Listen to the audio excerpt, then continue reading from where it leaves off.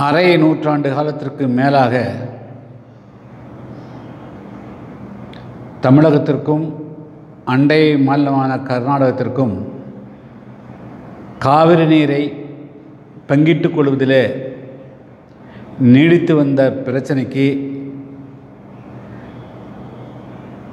நேற்றைய தினம் இந்தியாவினுடைய உச்சநீதிமன்றம் தனது தீர்ப்பை அளித்திருக்கிறது. இதில் ஏற்கனவே தமிழகத்திற்கு வழங்கப்பட்ட அல்லது தமிழகத்திற்கு என்று பங்கிடப்பட்ட நூற்றி ரெண்டு டிஎம்சி என்பது நேற்றைய உச்சநீதிமன்றத்தினுடைய தீர்ப்பில் நூற்றி எழுபத்தி ஏழு புள்ளி இருபத்தைந்தாக இப்பொழுது குறைக்கப்பட்டிருக்கிறது. பொதுவாக நேற்றைய தீர்ப்பை பொறுத்த மட்டிலும் தமிழகத்திற்கு பதினாலு புள்ளி ஏழு ஐந்து சதவீத ஏழு ஐந்து டிஎம்சி தண்ணீர் குறைவு என்பது உண்மையிலேயே அது வருத்தமளிக்கக்கூடியது தான் இருந்தாலும் கூட காவிரி கர்நாடகத்தில் தான் உற்பத்தி ஆகிறது எனவே காவிரி நீரை தமிழகம் சொந்தம் கொண்ட முடியாது என்ற கர்நாடகத்தினுடைய வாதம் நேற்று முற்றாக நிராகரிக்கப்பட்டு எந்த ஒரு மாநிலமும் தே நதிகளை தனிப்பட்ட முறையிலே சொந்தம் கொண்டாட முடியாது என்ற ஒரு வரலாற்று சிறப்புமிக்க தீர்ப்பு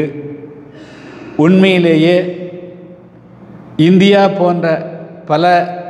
மொழிகள் பல இனங்கள் கொண்ட ஒரு அமைப்பில்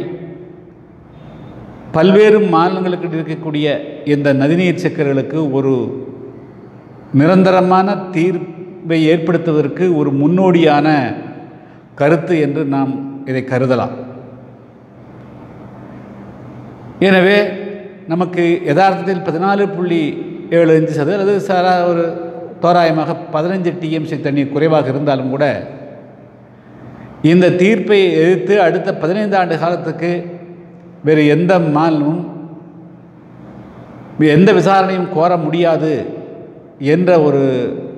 இறுதி தீர்ப்பு ஒரு மிகப்பெரிய ரிலீஃப் ஒரு சமாதானம் என்று நாம் சொல்ல வேண்டும். இப்பொழுது தமிழகம் இதை பொறுத்த மட்டில் நாம் என்ன செய்ய வேண்டும் என்று சொன்னால் இந்த நூற்றி எழுபத்தி ஏழு புள்ளி இருபத்தைந்து டிஎம்சி தண்ணீரை எப்படி ஏற்கனவே நடு காவிரி நடுவர் மன்றம் கொடுத்த தீர்ப்புகள் அதற்கு பிறகு உச்சநீதிமன்றம் தீர்ப்பு இதையெல்லாம் கணக்கிலே கொண்டு டிஸ்ட்ரஸ் சேர் என்று அழைக்கப்படக்கூடிய அதாவது வந்து மிகவும் வறட்சிகரமான காலகட்டங்களிலும்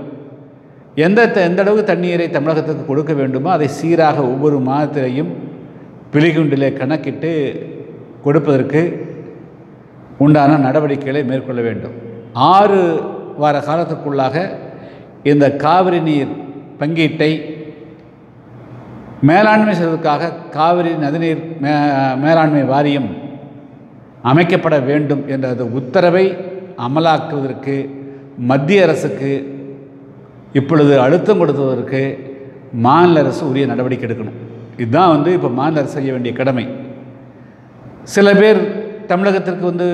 பதினைந்து சதவீதம் பறிபோய்விட்டது என்ற கருத்தை சொல்லி அதை அரசியலாக்குவதால் இனி எந்த விதமான பயனும் ஏற்பட போவது கிடையாது. இந்த குறைக்கப்பட்ட அந்த நூற்றி எழுபத்தி ஏழு புள்ளி இருபத்தைந்து டிஎம்சி தண்ணீரையாவது முறைப்படி கொடுப்பதற்கு ஏற்கனவே வலித்த வகுத்த வழிமுறைகளுடைய அடிப்படையில் அதை வந்து வழங்குவதற்கு மத்திய அரசு அந்த நதி ஆணையத்தை காலந்தாழ்த்தாமல் அமைத்திட வேண்டும் என்பதுதான் நம்முடைய ஒட்டுமொத்த தமிழக மக்களுடைய ஒரு சேர குரலாக இருக்க வேண்டும். அதை விட்டுவிட்டு நாம் மீண்டும் வழக்குகள் மீண்டும் போராட்டங்கள் என்று போவது வந்து இது கர்நாடகத்துக்கு ஒரு நல்ல வாய்ப்பாக போயிடும் எனவே இப்படிப்பட்ட ஒரு சூழலில் இது இந்த தீர்ப்பை முழு மண்ணறிவோடு ஏற்றுக்கொள்ளக்கூடிய சூழ்நிலை இல்லாவிட்டாலும் கூட தலைக்கு வந்த ஆபத்து தலைப்பாகையோடு போயிற்றுன்னு சொல்லுவார்களே அதுபோல நம்முடைய வரலாற்று ரீதியான அதாவது ரிப்பேரியன் ரைட்ஸ் என்று கடைமடை கீழ்ப்பாசன விவசாயிகளுடைய உரிமையை நிலைநாட்டக்கூடிய வகையில் தஞ்சை திருவாரூர் நாகப்பட்டினத்திற்கு மட்டுமல்ல இது தமிழகத்தினுடைய ஒட்டுமொத்த நன்மையும் உள்ளடக்கிய இந்த தீர்ப்பை அமலாக்குவதற்குத்தான் நாம் அனைவருடைய குரலும் ஆதரவும் இருக்க வேண்டும். அந்த வகையில் தமிழ்நாடு அரசு எடப்பாடி அவர்களுடைய அரசு எந்த விதத்திலும் மெத்தன போக்கு காட்டாமல் இனி வரக்கூடிய இந்த ஆறு வார காலத்தையும் ஒவ்வொரு நாளும் ஒவ்வொரு நிமிடத்தையும் ஒவ்வொரு வினாடியும் காவிரி நதிநீர் மேலாண்மை வாரியத்தை உடனடியாக அமைப்பதற்கு மத்திய அரசுக்கு உரிய அழுத்தத்தை கொடுக்க வேண்டும். அதற்குண்டான நடவடிக்கையில் ஈடுபட வேண்டும். இதற்கு புதிய தமிழகம் கட்சி முழு மனதோடு முழு சக்தியோடு மாநில அரசின் பின்னாலே நிற்கும் என்பதை இந்த நேரத்திலே நான் வலியுறுத்த கடமைப்பட்டிருக்கிறேன்.